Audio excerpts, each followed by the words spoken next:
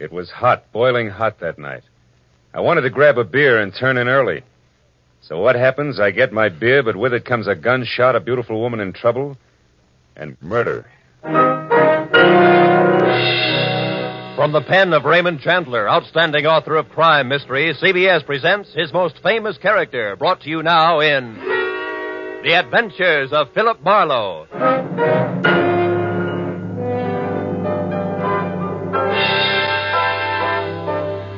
With Gerald Mohr starred as Philip Marlowe, we bring you tonight's unusual story, Red Wind.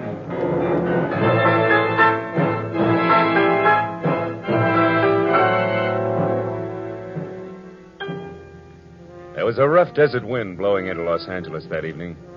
It was one of those hot, dry Santa Anas that come down through the mountain passes and curl your hair and make your nerves jump and your skin itch. On nights like that, every booze party ends in a fight, and meek little housewives feel the edge of a carving knife and study their husbands' necks. Anything can happen when the Santa Ana blows in from the desert. I closed up my office early. I got tired of reading Philip Marlowe, private investigator, backwards on the ground glass of my office door. So I locked up and decided a nice cold beer would taste good before I went up to my apartment. Killer up again, Mr. Marlin? Marlowe. Uh, Marlin. Yeah, Marlin's a fish. Yeah, yeah, I know. Marlin's also the name of a lady on the radio. Marlin, comma, Mary, the story of. Yeah, my wife listens to it. Yeah, good for her. Hey. Hey, you bartender. Another rye. Yeah, that drunk again. What do you expect in this business? Autograph hounds? Make it sappy. You hear? Be right with you, sport. Gotta draw this man a beer. Crying out loud, these stumble bums. Hey, Bud. You got another customer, Backus. Uh, hey, Bud, you seen a lady in here lately? A lady? Uh, tall, good-looking, brown hair, a print bolero jacket, and a blue silk dress. No, sir. No, sir. Uh, nobody like that, Spinian. All right, straight scotch, fast. Yes, sir. Yes, sir. As the man drank, I noticed the drunk was grinning at him. And then, without changing his grin, the drunk swept a gun from somewhere so fast it was just a blur coming out. Made a couple of hard snaps and a little smoke. Very little. You other guys, don't move. So long, Waldo. Don't move, you two. Poor Waldo. I bet I made his nose bleed. So long, boys. Drink up. Get on the phone, kid. I'll get his license number. Holy smoke. Too late. He drove away in the dead guy's car. Uh, maybe he ain't dead. No, he's dead, all right. Oh. That guy was using a 22 target pistol. Yeah. When they use that kind of gun, they don't make mistakes. Where's your phone? This Uh, is for the police.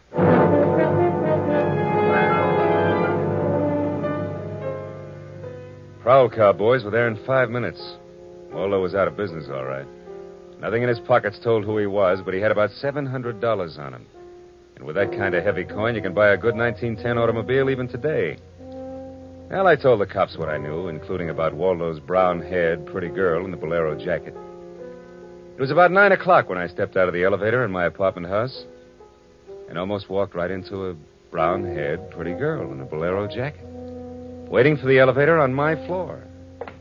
Oh, excuse me. Just a minute, lady. What is it? I'm a great admirer of bolero jackets. What? Now, take the one you've got on, for instance. I'm sorry, but I'm in a hurry. No, no, no, wait. If you'll be good enough to let me. Bu- oh, you've made me miss the elevator. It's just as well. What? Well, it's better you don't go out in those clothes. Just what do you mean? Tall, good looking, bolero jacket, blue silk dress. Mm-hmm. Lady, might I take the trouble of telling you that you're in trouble? Trouble. Yeah, the cops are looking for you. In those clothes. I haven't done anything. Maybe not. But if I were you, I'd have a little talk with me. I've all the I'm in nerve. room 41 across the hall. And I know things about you. Well, Good girl. Come along. It took a firm grip on her arm, but I managed to get her to my room. I rustled up some drinks, but when I turned to give her hers, I. I saw she held a small automatic. She looked at me steadily. I put down both glasses slowly so I wouldn't be misunderstood. Look, sister, I, I, I know it's hot tonight and heat does funny things to people, but uh, let's put that little thing away and have a nice cool drink, huh? don't move. Oh, I'm strictly frozen in my tracks. Stay that way. Okay, okay. But wouldn't you like to know that I'm a private detective? private detective. Yeah, I can prove it if you'll let me. Yeah, that's better. Yeah, I don't like those things pointed at me. I'll have that drink. Oh, good. I don't often give good liquor away like this. I can't afford it. Why are they after me? Well, a man was just shot in a bar down the street. Before he got it, he'd been asking about a tall, pretty girl with a bolero jacket. What did he look like? This man. Oh, he was tall, about 5'11. Slim, dark, dark brown eyes with a lot of glitter. Dark suit, white handkerchief in the breast pocket. And he must have seen you early at night to know how you were dressed. Am I getting anywhere? He used to be my. my chauffeur. You had an appointment with him, didn't you? I. He asked for you, didn't he? Yes, I had an appointment with him. He'd stolen something from me when he left three days ago. I was going to buy it back from him. Why didn't you tell the police? I couldn't tell him. It was valuable, wasn't it? Valuable enough for Waldo to steal. Fifteen thousand dollars, Peanuts. but it wasn't the value. You see, it meant something to me. The man I loved gave it to me. And now he's dead. We shot down over Germany. Now go back and tell my husband that. He'll he probably hired you. He did? How much is he paying me? And uh, where is this husband of yours? He's at a meeting. This late at night? He's a very important man. The hydroelectric engineer. Never mind about him. What about Waldo? Why was he knocked off? You mean he's dead? Waldo is dead? Yes, sister, he's dead, very dead. Screaming won't bring him back. I'm not going to scream. Who would that be? There's a dressing room behind the door. Hide there. Take your glass with you. All right, all right.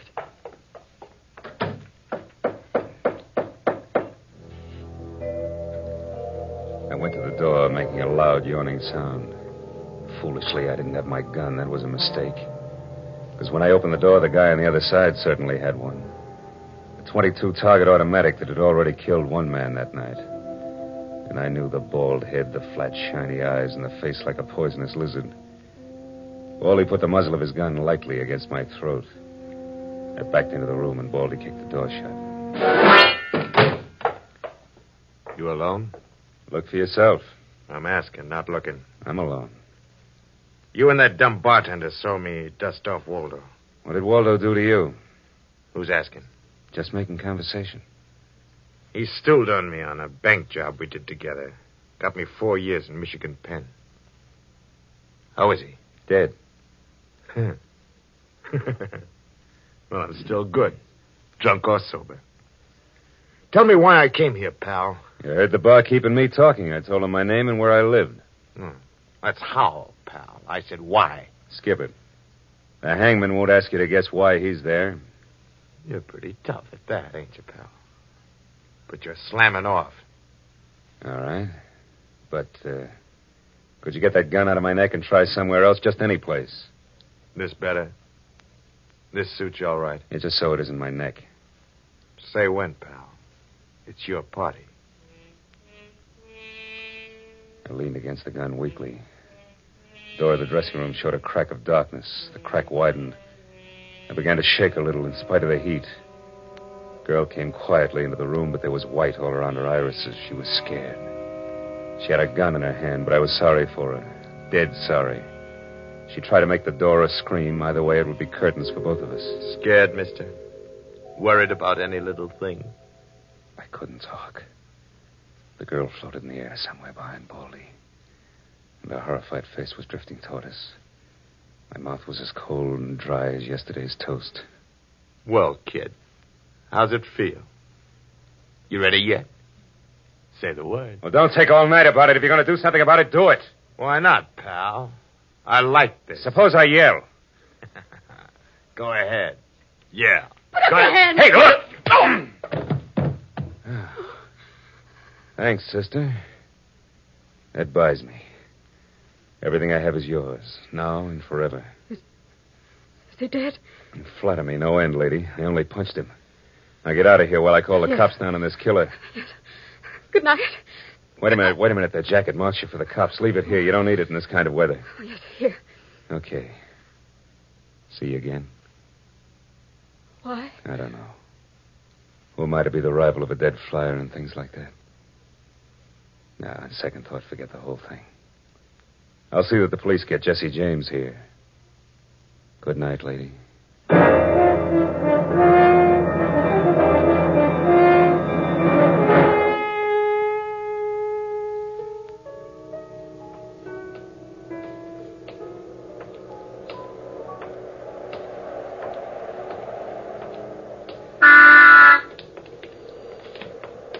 Yeah? You mean me? Yes, please. Oh, you again. Get in. I want to talk to you. You want to know what happened at headquarters? Yes. I went down to headquarters with the law and gave them the story. I left you out of it. Oh, thanks. And you saved my life. So no one knows anything about you. Incidentally, neither do I. My name is Mrs. Frank Barsley. 212 Fremont Place. Olympia 24596. That what you wanted? I guess so. Well, there it is. Now, why'd you really come back? I wanted my pearls. Oh, no. Pearls, too? Yes. All right, tell me about the pearls. We've had a murder, a beautiful mystery woman, and a sadistic killer, and an heroic rescue. Now we will have pearls. I was to buy them back from the man called Waldo. Well, I saw everything that came out of his pockets. There weren't any pearls. Could they be hidden in his apartment? It's possible. Waldo lived on the same floor you do, in this apartment house. And why didn't I know him, at least by sight? Well, he just moved in last week. He managed to get a sublet. Sort of amateur magician on the side, huh? It's uh, getting rather late. Yeah. What about your husband this hot, mysterious night? He's still at his meeting. Good. Why did you say that?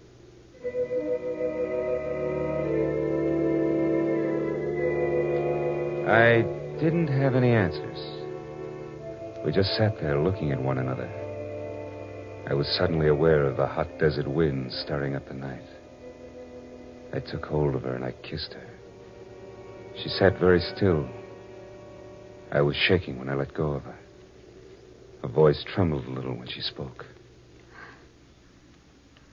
I meant you to do that. Oh, I wasn't always this way. Only since Johnny Dalmas was killed in the war. He gave me those pearls. Forty-one of them. With a diamond propeller clasp. I'd have loved them if they were wooden beads because he gave them to me. I loved Johnny. The way you love just one time. You understand that? Yes, I can. What I don't understand is how you could explain a $15,000 pearl necklace to your husband. I Told him they were imitation. That I bought them myself. How did Waldo latch onto them and what they stood for? When my husband was in Argentina, Waldo and I would go for long drives. I was restless and wretched because of Johnny. Sometimes Waldo and I had a little drink together. But that was all. But you confided in Waldo about those pearls. Yes. And when your husband came back, Waldo stole the pearls and offered to sell them back to you. He'd tell Papa. Oh, I was a fool. And now you think the pearls are upstairs in Waldo's apartment. I suppose it's a lot to ask. I've been paid. I'll go look. Wait here.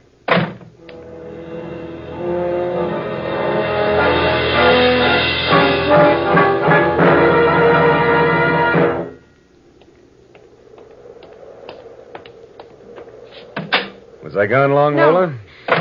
Well, No. no pearls? No pearls. Oh. There was a man in Waldo's room. Man. You know a guy named Leon Velasanos? No, not by name. I don't know him. Mexican, South American, about 45, small, iron gray hair, very neat. Fawn colored suit, wine colored tie. No, I don't think I know such a man. You say he was in the room? Yeah. What did he say? Very little. In fact, nothing. He was dead.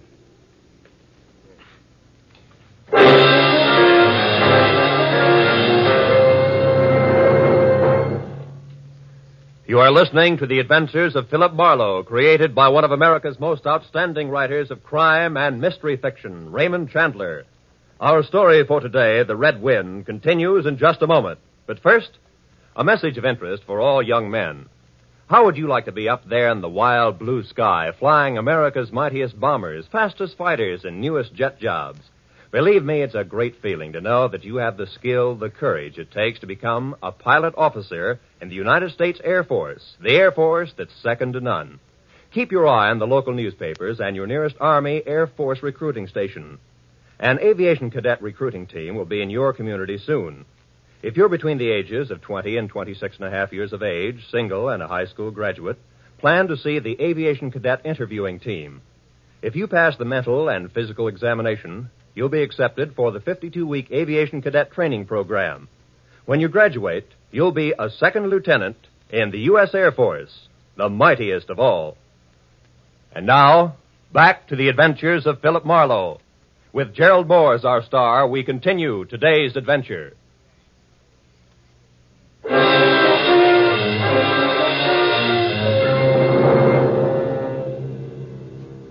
I sat with Lola Bosley in her car, listening to the hot wind gallop around in the midnight streets.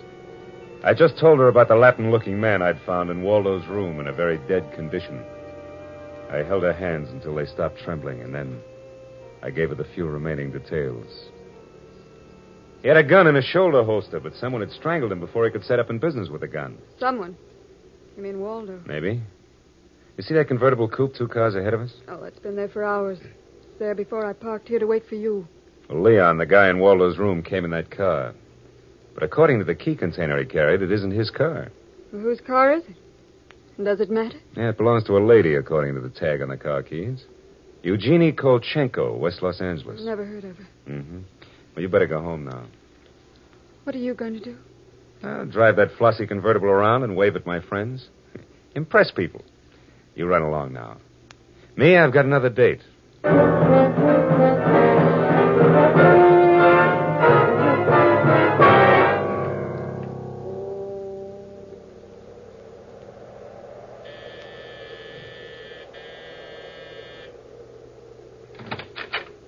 Yes.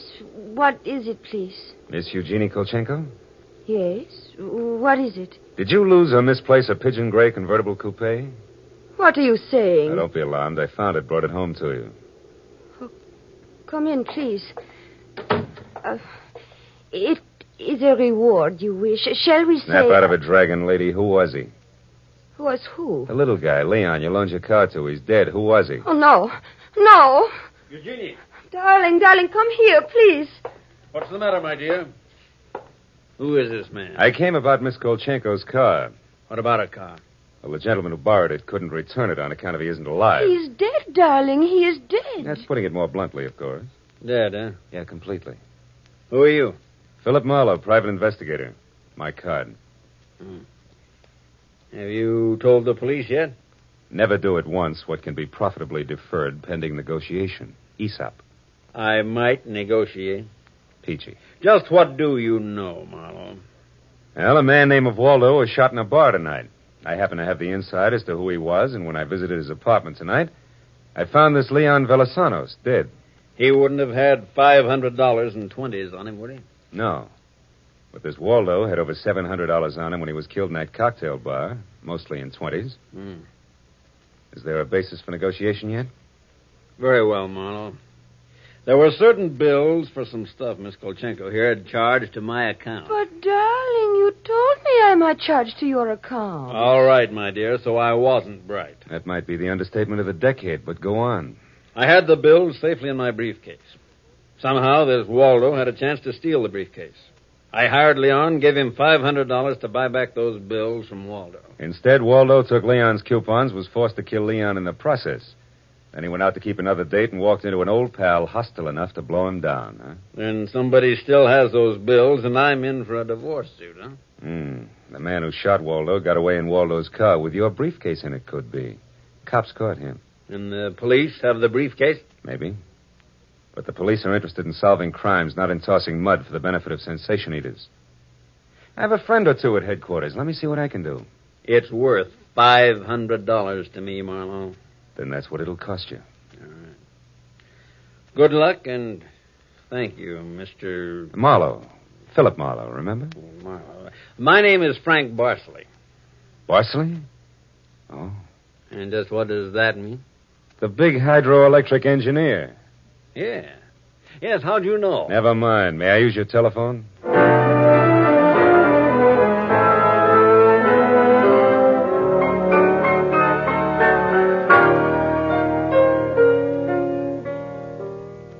Someday I must tell you about Ibarra. He's a salt of the earth, Ibarra. Detective lieutenant over at Central Homicide. Well, I phoned Ibarra from Miss Kolchenko's house and told him where he could find a well dressed cadaver named Leon and furnished a few small details. I gave Ibarra time to check my tip, and then I went down to see the good lieutenant and told him why I'd been up in Waldo's room, only to find Leon instead of a certain lady's string of pearls. Pearls, eh? Yeah, I thought Waldo might have had them up there. Whose pearls were they? The ladies? Go on. Or they might have been in Waldo's car that Waldo's killer drove away in. Yeah, What? Yeah. they might have. Yeah. Also, a batch of bills charged to the account of a certain Frank Bosley. Yeah. The police aren't interested in domestic scandal. They want to prevent or solve crimes, right? So? So I've got $500 for the police fund. Hmm. If those pearls and those bills are returned to their rightful owners. Quit your kidding. It's a valuable necklace. Yeah. There's your necklace. Take it away. On the level, Ibarra? Just tell me straight what it's all about. All I ask. Sure, sure. Well, you see, this Waldo was blackmailing a wife with the pearls and her husband with the bills. Bosley, that's the guy's name, sent Leon to get the bills from Waldo. Waldo killed him and then stepped out and got nailed by that guy in the bar he'd stool pigeoned against once. "hmm. Well, if Bosley's name stays out of the papers, I get 500 bucks. It goes to the police fund. Thanks. We'll keep him out. I'm not in this case for money. I just want to get back the bills and the pearls. Sure. And like you say, Marlowe, the police aren't in business to sling mud. Look, you can deliver the pearls to the lady yourself if you like. No, you better take them to 'em, Marlowe. You see, except for that diamond propeller clasp on them, they're phony. Phony.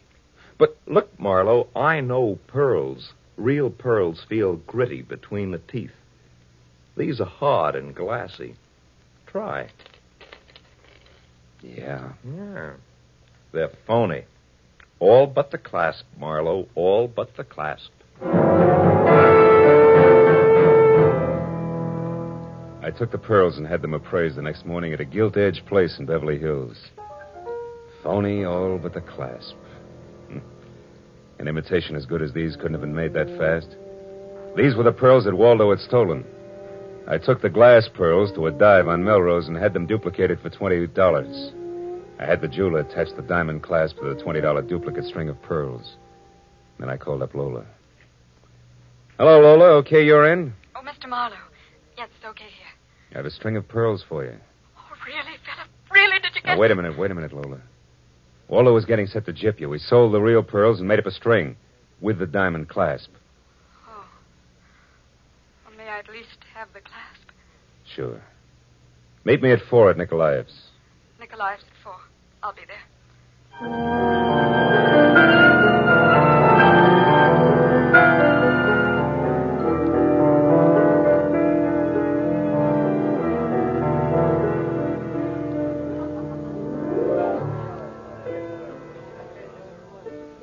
Hey, yeah, Lola. These are the pearls the police found in Waldo's car. You were right. They're not my pearls. I'm sorry, Lola. No. I still have the clasp that Johnny gave me. Well, I'm happy if you are. Happy. No, not quite happy. See, this morning my husband told me we're to separate. No, I'm very sorry, Lola. You've been very kind. That's all right. This is goodbye, I suppose. Yeah. You'll never get over Johnny Dalmas. Goodbye, Lola. If anybody ever bothers you again, let me know, huh? Name's Marlowe. Philip Marlowe. I'll remember. Philip Marlowe.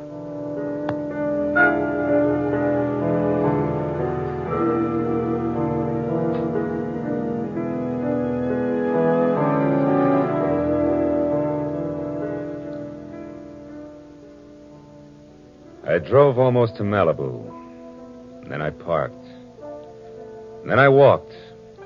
Way out on a rock cliff, jutting into the Pacific Ocean. Then I reached into my pocket and dug out the string of bohemian glass pearls that Lieutenant Ibarra had found in Waldo's car. I cut the knot at one end and slipped the pearls off, one by one. One by one, I flipped them into the water. Should have seen the gulls swoop down on them. Then they flapped up again, screaming indignantly. Phony pearls. They'd fooled Waldo and Lola Barceley, but they couldn't fool a seagull. I said aloud, To the memory of Johnny Dalmas, just another four flusher.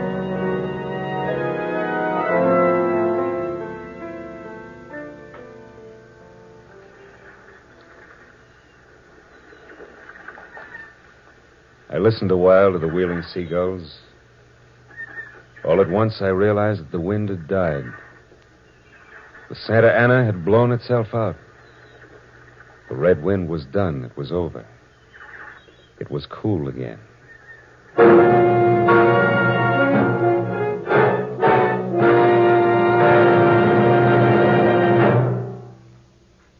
The Adventures of Philip Marlowe, created by Raymond Chandler, stars Gerald Mohr and is produced and directed by Norman Macdonnell.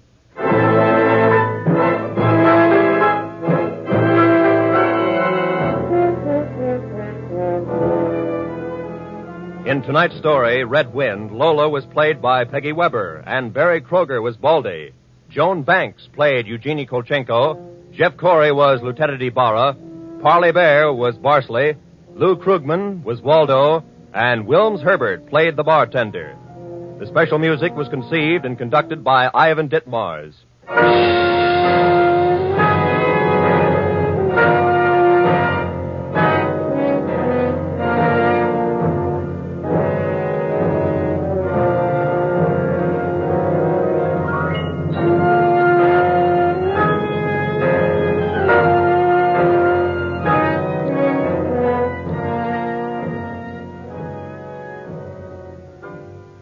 Marlowe will be back in just a moment.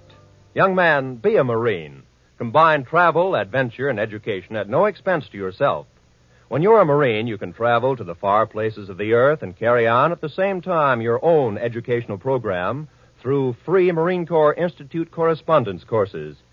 You have plenty of courses to choose from, and an ideal way of studying geography or history is to take a course dealing with the background of the area in which you are stationed or any of the more than 160 Marine Corps Institute courses. Thanks to this Marine Corps Institute, thousands of Marines are making continual educational advancements during their service in the U.S. Marine Corps. That opportunity upon becoming a U.S. Marine is yours for the asking. Check with your nearest Marine Corps recruiting office tomorrow for complete information.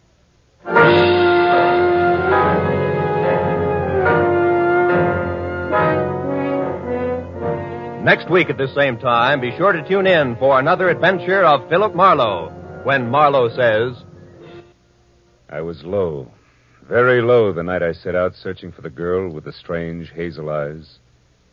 The fog which hung over Los Angeles didn't help. And I felt even worse when I found her. For by then I had death on my hands.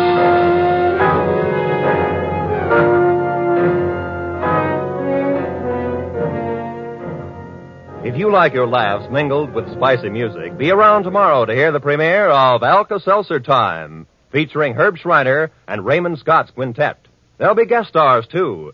Here's a show that's guaranteed to keep Monday from being blue. It's coming your way Mondays through Fridays over most of these CBS stations. So consult your local newspaper for the time of Alka Seltzer Time.